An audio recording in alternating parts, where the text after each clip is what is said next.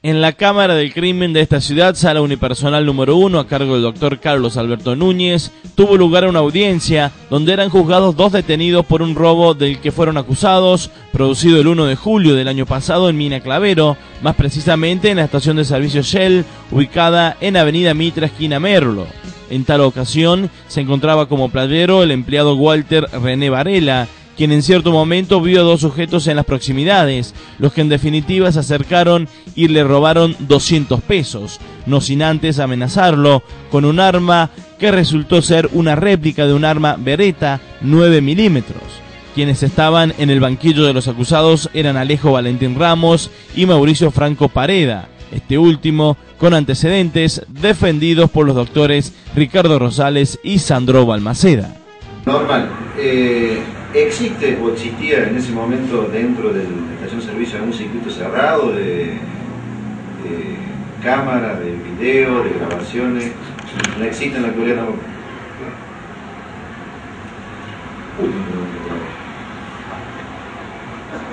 Dentro de que le ocurre esta circunstancia, ¿alguna vez fue citado alguna dependencia policial, fiscalía, algo a hacer un reconocimiento de las personas? Me citaron un momento, pero bueno, estaba ahí que había pasado mucho tiempo y, así que no ¿Cómo, cómo, cómo sucede eso? ¿Cómo, ¿Cómo, fue? ¿Me puede explicar un poquito más cómo fue eso? ¿En qué época lo habían citado? Sí, no me acuerdo. ¿Por qué pasó? O sea, lo quiero hacer referencia por qué pasó el tiempo eh, o bueno, usted pasó el tiempo, sé que podía reconocerlo, o sea, en el momento que ocurre el hecho, que manifiesta, no sé, a ver si puede ser un poquito más específico, en el momento que ocurre el hecho, que lo citan, que usted expone lo que le pasó, ¿En ese momento usted manifestó o no manifestó si estaba en condición de Sí, porque en ese momento me acordaba, bueno, me acuerdo ver mucha gente atiendo cuando la gente ahí la emisión. Fue como que tuve miedo ahí de, de, de confundir y no reconocer bien. bien. ¿Y ahora quién le, quién le indicó que podrían ser las personas que están sentados a mi costado? No, porque ahora le veo la mirada y es él. ¿Y qué contas en él? Continuando con lo que dejó esta audiencia, en la misma jornada se llevaron a cabo los alegatos, ocasión en la que el fiscal, el doctor José Luis Arioni, solicitó la pena de tres años para Ramos y cuatro años y ocho meses para Pereda mientras que los defensores estuvieron por la absolución.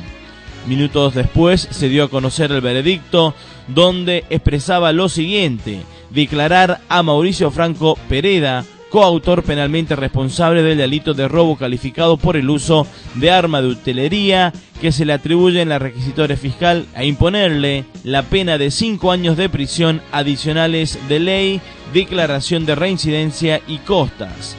Segundo, declarar a Alejo Valentín Ramos, coautor penalmente responsable del delito de robo calificado por el uso de arma de utilería e imponerle la pena de tres años de prisión y costas, en tanto que el día 31 de mayo a las 12 horas tendrá lugar la lectura integral de la sentencia. Si bien es cierto que el medio específicamente previsto por la ley a los fines de que una persona reconozca a otra aquella a la cual se está refiriendo, lo es el reconocimiento fuera de personas. Antigua y pacífica jurisprudencia del Superior Tribunal de Justicia ha determinado que el reconocimiento que en el curso de la audiencia de debate realiza una persona del imputado en absoluto importa la vulneración de ninguna garantía constitucional. Lo único que también comparto aquí lo sostenido por el señor fiscal de instrucción, que este reconocimiento impropio practicado en el curso de la audiencia de debate no tiene el valor conviccional de que goza el reconocimiento efectuado en su de persona. No obstante lo cual, nada obsta a que, en un momento oportuno, el mismo sea valorado como un por todo ello y normas legales citadas, se resuelve no hacer lugar al incidente de nulidad planteado.